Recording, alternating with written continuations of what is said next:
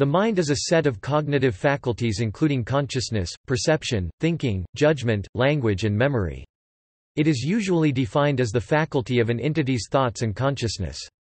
It holds the power of imagination, recognition, and appreciation, and is responsible for processing feelings and emotions, resulting in attitudes and actions. There is a lengthy tradition in philosophy, religion, psychology, and cognitive science about what constitutes a mind and what are its distinguishing properties. One open question regarding the nature of the mind is the mind-body problem, which investigates the relation of the mind to the physical brain and nervous system. Older viewpoints included dualism and idealism, which considered the mind somehow non-physical. Modern views often center around physicalism and functionalism, which hold that the mind is roughly identical with the brain or reducible to physical phenomena such as neuronal activity, though dualism and idealism continue to have many supporters. Another question concerns which types of beings are capable of having minds New Scientist 8 September 2018 p. 10.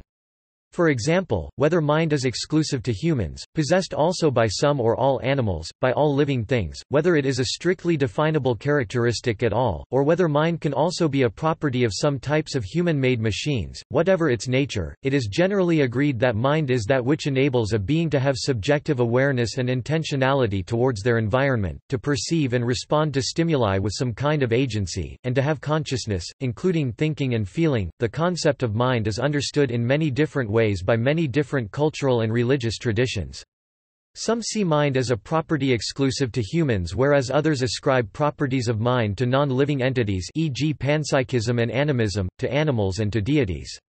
Some of the earliest recorded speculations linked mind sometimes described as identical with soul or spirit to theories concerning both life after death, and cosmological and natural order, for example in the doctrines of Zoroaster, the Buddha, Plato, Aristotle, and other ancient Greek, Indian and, later, Islamic and medieval European philosophers.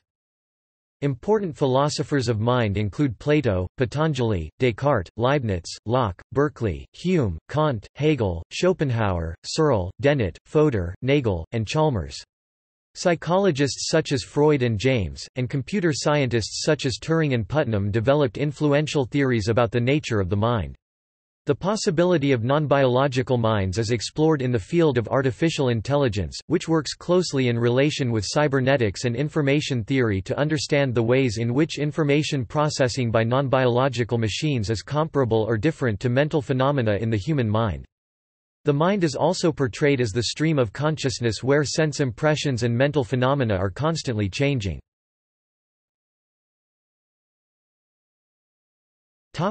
Etymology The original meaning of Old English gemind was the faculty of memory, not of thought in general. Hence call to mind, come to mind, keep in mind, to have mind of, etc. The word retains this sense in Scotland. Old English had other words to express mind, such as hyge, mind, spirit. The meaning of memory is shared with Old Norse, which has munr. The word is originally from a PIE verbal root asterisk men, meaning to think, remember, whence also Latin mens, mind, Sanskrit manas, mind, and Greek menos, mind, courage, anger. The generalization of mind to include all mental faculties, thought, volition, feeling and memory, gradually develops over the 14th and 15th centuries.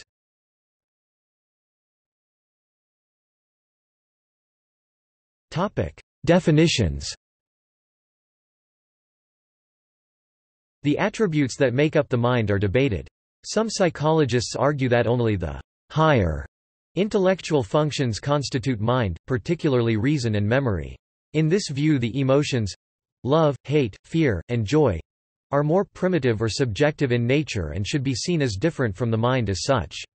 Others argue that various rational and emotional states cannot be so separated, that they are of the same nature and origin, and should therefore be considered all part of it as mind. In popular usage, mind is frequently synonymous with thought, the private conversation with ourselves that we carry on inside our heads. Thus we make up our minds, change our minds, or are of two minds about something. One of the key attributes of the mind in this sense is that it is a private sphere to which no one but the owner has access. No one else can know our mind. They can only interpret what we consciously or unconsciously communicate.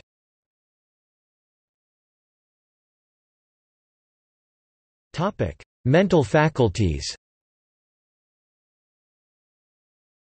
Broadly speaking, mental faculties are the various functions of the mind, or things the mind can do. Thought is a mental act that allows humans to make sense of things in the world, and to represent and interpret them in ways that are significant, or which accord with their needs, attachments, goals, commitments, plans, ends, desires, etc. Thinking involves the symbolic or semiotic mediation of ideas or data, as when we form concepts, engage in problem-solving, reasoning, and making decisions. Words that refer to similar concepts and processes include deliberation, cognition, ideation, discourse and imagination.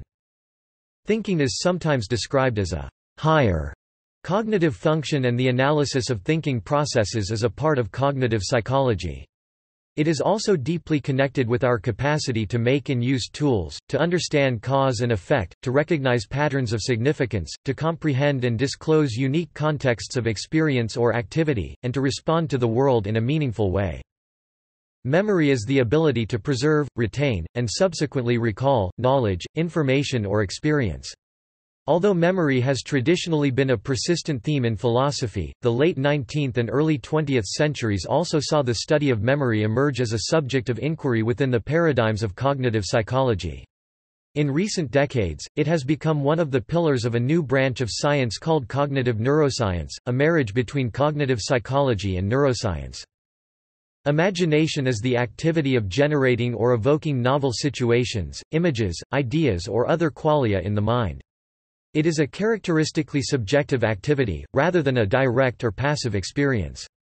The term is technically used in psychology for the process of reviving in the mind percepts of objects formerly given in sense perception.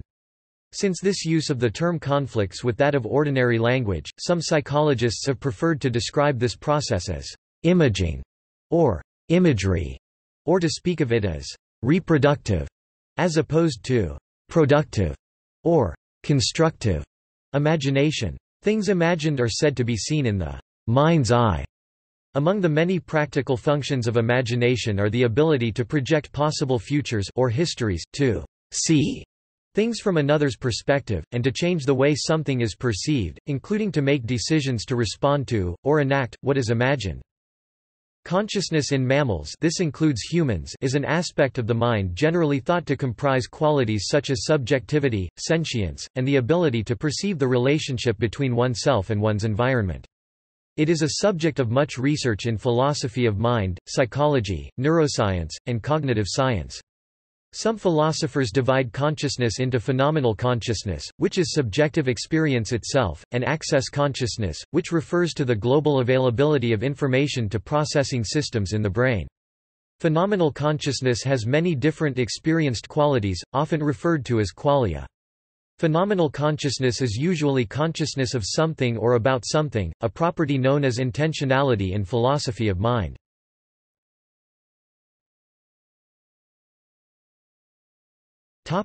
Mental content Mental contents are those items that are thought of as being in the mind, and capable of being formed and manipulated by mental processes and faculties. Examples include thoughts, concepts, memories, emotions, percepts and intentions. Philosophical theories of mental content include internalism, externalism, representationalism and intentionality.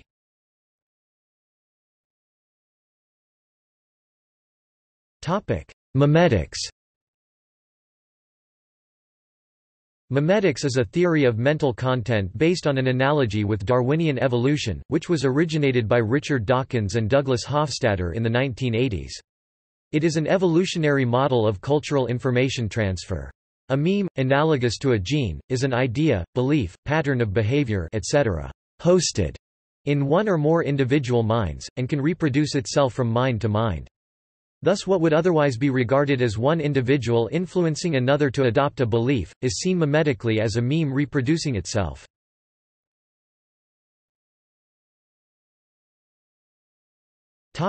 Relation to the brain In animals, the brain, or encephalon Greek for in the head, is the control center of the central nervous system, responsible for thought. In most animals, the brain is located in the head, protected by the skull and close to the primary sensory apparatus of vision, hearing, equilibrioception, taste and olfaction. While all vertebrates have a brain, most invertebrates have either a centralized brain or collections of individual ganglia. Primitive animals such as sponges do not have a brain at all. Brains can be extremely complex. For example, the human brain contains around 86 billion neurons, each linked to as many as 10,000 others. Understanding the relationship between the brain and the mind, mind body problem is one of the central issues in the history of philosophy, is a challenging problem both philosophically and scientifically. There are three major philosophical schools of thought concerning the answer dualism, materialism, and idealism. Dualism holds that the mind exists independently of the brain, materialism holds that mental phenomena are identical to neuronal phenomena, and idealism holds that only mental phenomena exist. Through most of history, many philosophers found it inconceivable that cognition could be implemented by a physical substance such as brain tissue, that is neurons and synapses.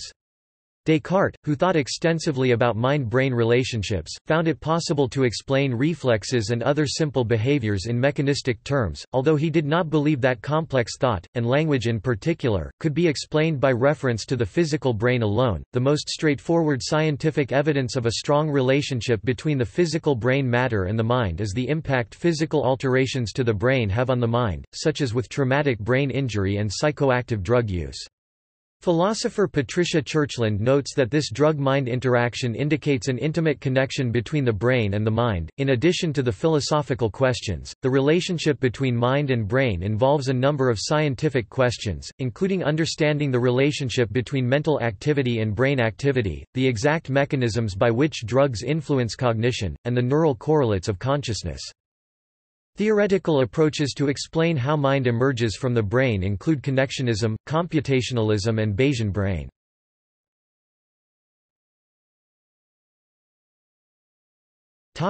Evolutionary history of the human mind The evolution of human intelligence refers to several theories that aim to describe how human intelligence has evolved in relation to the evolution of the human brain and the origin of language. The timeline of human evolution spans some 7 million years, from the separation of the genus Pan until the emergence of behavioral modernity by 50,000 years ago. Of this timeline, the first 3 million years concern Sahelanthropus, the following 2 million concern Australopithecus, while the final 2 million span the history of actual Homo species the Paleolithic. Many traits of human intelligence, such as empathy, theory of mind, mourning, ritual, and the use of symbols and tools, are already apparent in great apes although in lesser sophistication than in humans. There is a debate between supporters of the idea of a sudden emergence of intelligence, or great leap forward, and those of a gradual or continuum hypothesis. Theories of the evolution of intelligence include Robin Dunbar's social brain hypothesis, Geoffrey Miller's sexual selection hypothesis concerning sexual selection in human evolution, the ecological dominance social competition EDSC explained by Mark V. Flinn, David C. Geary and Carol V. Ward based mainly on work by Richard D. Alexander. The idea of intelligence as a signal of good health and resistance to disease. The group selection theory contends that organism characteristics that provide benefits to a group clan, tribe, or larger population can evolve despite individual disadvantages such as those cited above. The idea that intelligence is connected with nutrition, and thereby with status. A higher IQ could be a signal that an individual comes from and lives in a physical and social environment where nutrition levels are high, and vice versa.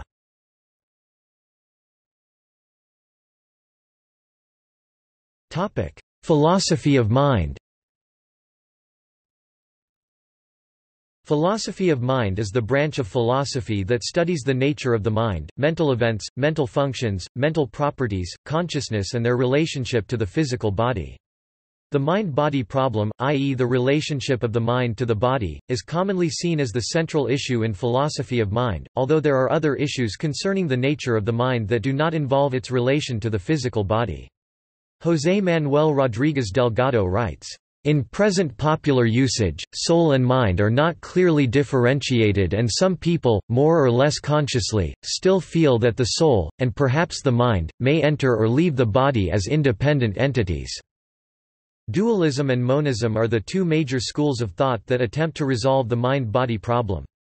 Dualism is the position that mind and body are in some way separate from each other. It can be traced back to Plato, Aristotle and the Nyaya, Samkhya and Yoga schools of Hindu philosophy, but it was most precisely formulated by René Descartes in the 17th century. Substance dualists argue that the mind is an independently existing substance, whereas property dualists maintain that the mind is a group of independent properties that emerge from and cannot be reduced to the brain, but that it is not a distinct substance. The 20th century philosopher Martin Heidegger suggested that subjective experience and activity, i.e., the mind, cannot be made sense of in terms of Cartesian substances that bear properties at all whether the mind itself is thought of as a distinct, separate kind of substance or not. This is because the nature of subjective, qualitative experience is incoherent in terms of, or semantically incommensurable with the concept of, substances that bear properties. This is a fundamentally ontological argument. The philosopher of cognitive science Daniel Dennett, for example, argues there is no such thing as a narrative center called the mind, but that instead there is simply a collection of sensory inputs and outputs, different kinds of software running in parallel. Psychologist B.F. Skinner argued that the mind is an explanatory fiction that diverts attention from environmental causes of behavior. He considered the mind a black box and thought that mental processes may be better conceived of as forms of covert verbal behavior. Philosopher David Chalmers has argued that the third person approach to uncovering mind and consciousness is not effective, such as looking into others' brains or observing human conduct, but that a first person approach is necessary. Such a first person perspective indicates that the mind must be conceptualized as something distinct from the brain. The mind has also been described as manifesting from moment to moment, one thought moment at a time as a fast-flowing stream, where sense impressions and mental phenomena are constantly changing.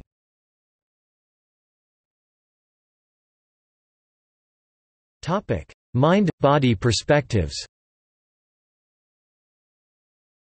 Monism is the position that mind and body are not physiologically and ontologically distinct kinds of entities. This view was first advocated in Western philosophy by Parmenides in the 5th century BC and was later espoused by the 17th-century rationalist Baruch Spinoza. According to Spinoza's dual aspect theory, mind and body are two aspects of an underlying reality which he variously described as nature or God. Physicalists argue that only the entities postulated by physical theory exist, and that the mind will eventually be explained in terms of these entities as physical theory continues to evolve. Idealists maintain that the mind is all that exists and that the external world is either mental itself, or an illusion created by the mind. Neutral monists adhere to the position that perceived things in the world can be regarded as either physical or mental depending on whether one is interested in their relationship to other things in the world or their relationship to the perceiver.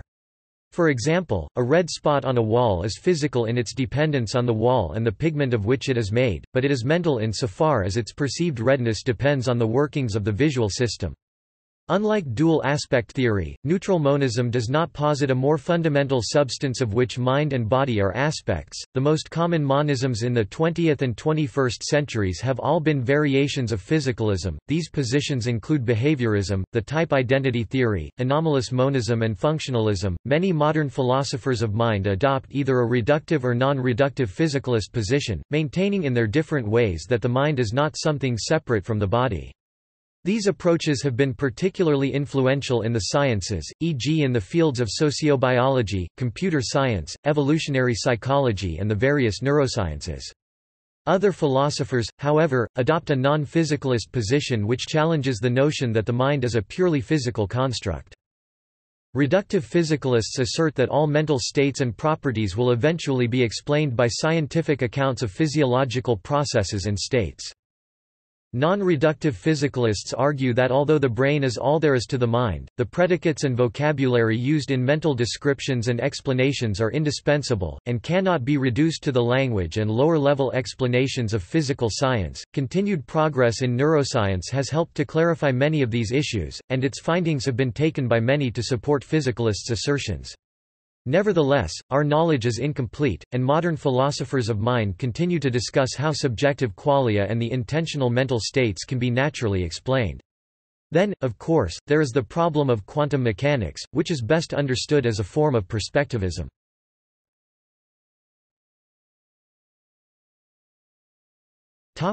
Scientific study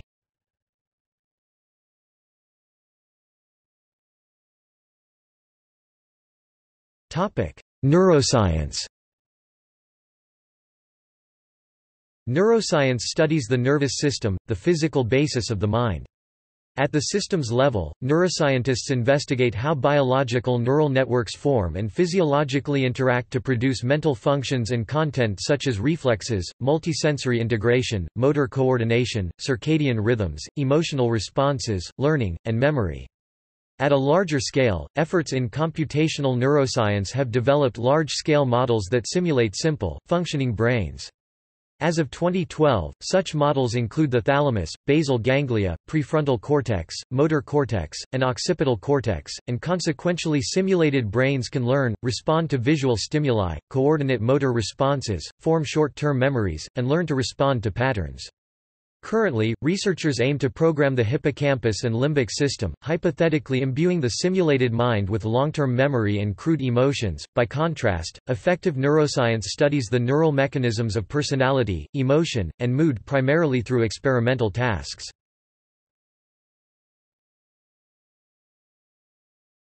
Topic: Cognitive science. Cognitive science examines the mental functions that give rise to information processing, termed cognition. These include perception, attention, working memory, long-term memory, producing and understanding language, learning, reasoning, problem-solving, and decision-making. Cognitive science seeks to understand thinking in terms of representational structures in the mind and computational procedures that operate on those structures.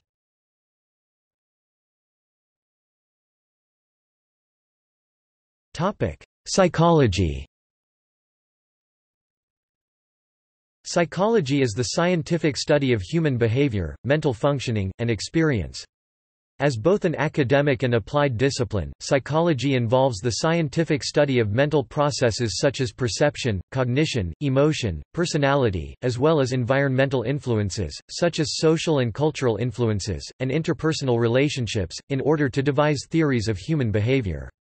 Psychological patterns can be understood as low-cost ways of information processing. Psychology also refers to the application of such knowledge to various spheres of human activity, including problems of individuals' daily lives and the treatment of mental health problems.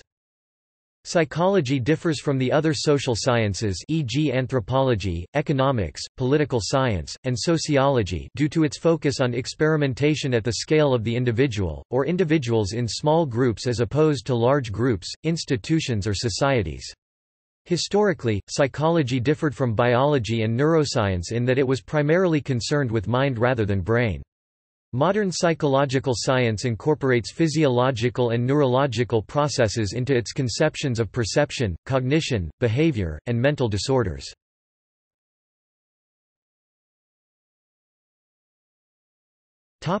Mental health By analogy with the health of the body, one can speak metaphorically of a state of health of the mind, or mental health. Merriam-Webster defines mental health as a state of emotional and psychological well-being in which an individual is able to use his or her cognitive and emotional capabilities, function in society, and meet the ordinary demands of everyday life. According to the World Health Organization (WHO), there is no one official definition of mental health. Cultural differences, subjective assessments, and competing professional theories all affect how mental health is defined. In general, most experts agree that mental health and mental disorder are not opposites. In other words, the absence of a recognized mental disorder is not necessarily an indicator of mental health. One way to think about mental health is by looking at how effectively and successfully a person functions. Feeling capable and competent, being able to handle normal levels of stress, maintaining satisfying relationships, and leading an independent life, and being able to bounce back or recover from difficult situations, are all signs of mental health. Psychotherapy is an interpersonal, relational intervention used by trained psychotherapists to aid clients in problems of living. This usually includes increasing individual sense of well-being and reducing subjective discomforting experience.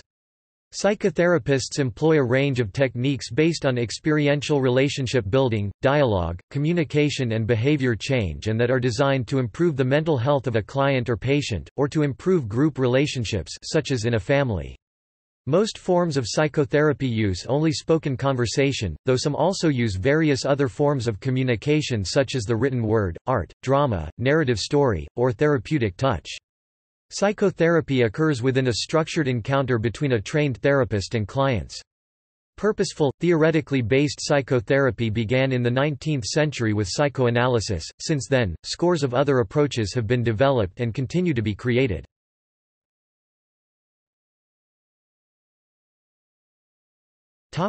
Non-human minds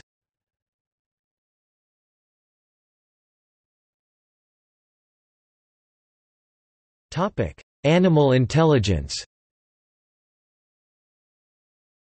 Animal cognition, or cognitive ethology, is the title given to a modern approach to the mental capacities of animals. It has developed out of comparative psychology, but has also been strongly influenced by the approach of ethology, behavioral ecology, and evolutionary psychology. Much of what used to be considered under the title of animal intelligence is now thought of under this heading. Animal language acquisition, attempting to discern or understand the degree to which animal cognition can be revealed by linguistics-related study, has been controversial among cognitive linguists.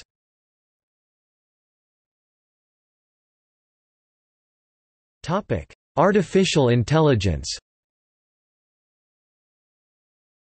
In 1950 Alan M. Turing published, "'Computing Machinery and Intelligence' in Mind, in which he proposed that machines could be tested for intelligence using questions and answers. This process is now named the Turing test. The term artificial intelligence AI was first used by John McCarthy who considered it to mean, "...the science and engineering of making intelligent machines." It can also refer to intelligence as exhibited by an artificial man-made, non-natural, manufactured entity. AI is studied in overlapping fields of computer science, psychology, neuroscience and engineering, dealing with intelligent behavior, learning and adaptation and usually developed using customized machines or computers. Research in AI is concerned with producing machines to automate tasks requiring intelligent behavior. Examples include control, planning and scheduling, the ability to answer diagnostic and consumer questions, handwriting, natural language, speech and facial recognition. As such, the study of AI has also become an engineering discipline, focused on providing solutions to real-life problems, knowledge mining, software applications, strategy games like computer chess and other video games. One of the biggest limitations of AI is in the domain of actual machine comprehension. Consequentially natural language understanding and connectionism where behavior of neural networks is investigated are areas of active research and development. The debate about the nature of the mind is relevant to the development of artificial intelligence. If the mind is indeed a thing separate from or higher than the functioning of the brain, then hypothetically it would be much more difficult to recreate within a machine, if it were possible at all. If, on the other hand, the mind is no more than the aggregated functions of the brain, then it will be possible to create a machine with a recognizable mind though possibly only with computers much different from today's, by simple virtue of the fact that such a machine already exists in the form of the human brain.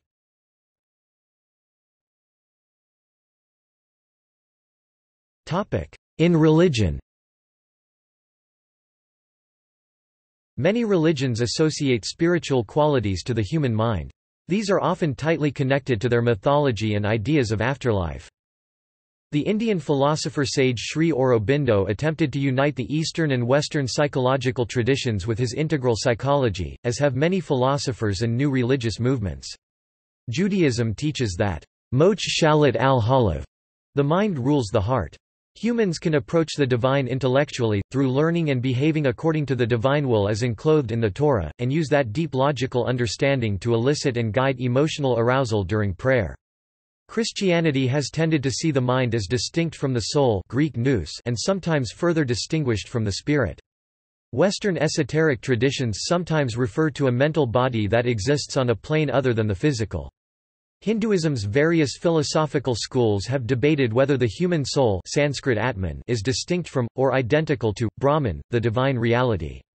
Taoism sees the human being as contiguous with natural forces, and the mind as not separate from the body. Confucianism sees the mind, like the body, as inherently perfectible.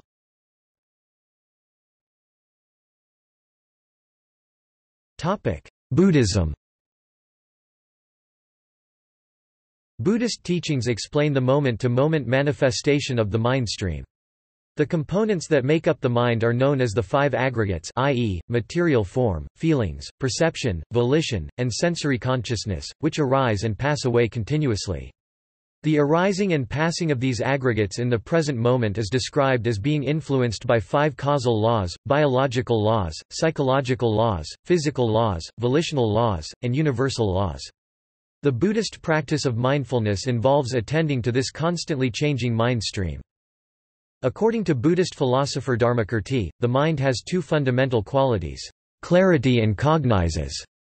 If something is not those two qualities, it cannot validly be called mind. Clarity refers to the fact that mind has no color, shape, size, location, weight, or any other physical characteristic, and cognizes that it functions to know or perceive objects. Knowing refers to the fact that mind is aware of the contents of experience, and that, in order to exist, mind must be cognizing an object. You cannot have a mind, whose function is to cognize an object, existing without cognizing an object. Mind, in Buddhism, is also described as being space-like and illusion-like. Mind is space-like in the sense that it is not physically obstructive. It has no qualities which would prevent it from existing. In Mahayana Buddhism, mind is illusion-like in the sense that it is empty of inherent existence. This does not mean it does not exist, it means that it exists in a manner that is counter to our ordinary way of misperceiving how phenomena exist, according to Buddhism. When the mind is itself cognized properly, without misperceiving its mode of existence, it appears to exist like an illusion. There is a big difference however between being space and illusion, and being space-like, and illusion-like. Mind is not composed of space, it just shares some descriptive similarities to space. Mind is not an illusion, it just shares some descriptive qualities with illusions. Buddhism posits that there is no inherent, unchanging identity inherent I, inherent me or phenomena ultimate self, inherent self, Atman, soul, self-essence, jiva, ishvara, humanness essence, etc. which is the experiencer of our experiences and the agent of our actions. In other words, human beings consist of merely a body and a mind, and nothing extra. Within the body there is no part or set of parts which is, by itself or themselves, the person. Similarly, within the mind there is no part or set of parts which are themselves, the person. A human being merely consists of five aggregates, or skandhas and nothing else. In the same way, mind is what can be validly conceptually labeled onto our mere experience of clarity and knowing. There is something separate and apart from clarity and knowing which is awareness. In Buddhism, mind is that part of experience the sixth sense door, which can be validly referred to as mind by the concept term, mind. There is also not objects out there, mind in here, and experience somewhere in between. There is a third thing called awareness, which exists being aware of the contents of mind and what mind cognizes. There are five senses arising of mere experience, shapes, colors, the components of smell, components of taste, components of sound, components of touch and mind is the sixth institution. This means, expressly, that there can be a third thing called awareness, and a third thing called experiencer who is aware of the experience. This awareness is deeply related to no self, because it does not judge the experience with craving or aversion. Clearly, the experience arises and is known by mind, but there is a third thing called sati what is the real experiencer of the experience. that sits apart from the experience and which can be aware of the experience in four levels, Maha Satipatthana Sutta. Body Sensations changes of the body-mind Mind Contents of the mind, changes of the body-mind. To be aware of these four levels one needs to cultivate equanimity toward craving and aversion. This is called vipassana which is different from the way of reacting with craving and aversion. This is the state of being aware and equanimous to the complete experience of here and now. This is the way of Buddhism, with regards to mind and the ultimate nature of minds and persons.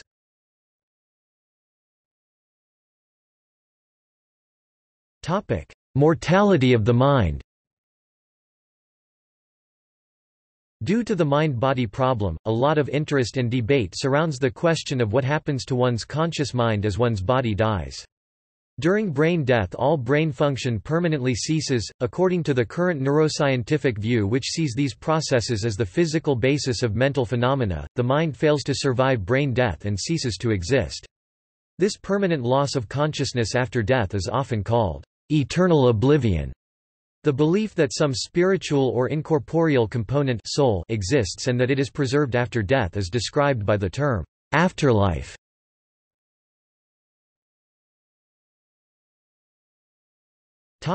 In pseudoscience.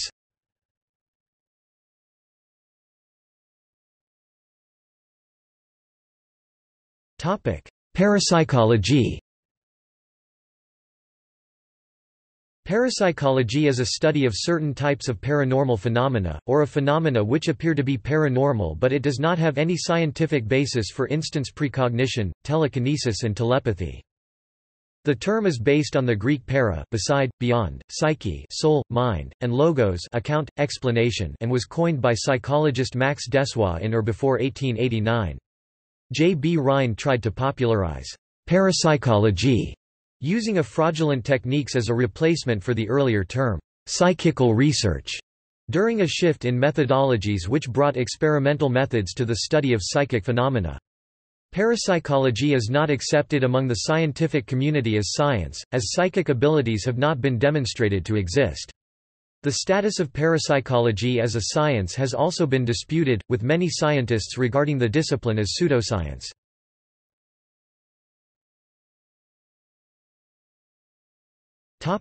See also Outline of human intelligence, topic tree presenting the traits, capacities, models, and research fields of human intelligence, and more. Outline of thought, topic tree that identifies many types of thoughts, types of thinking, aspects of thought, related fields, and more.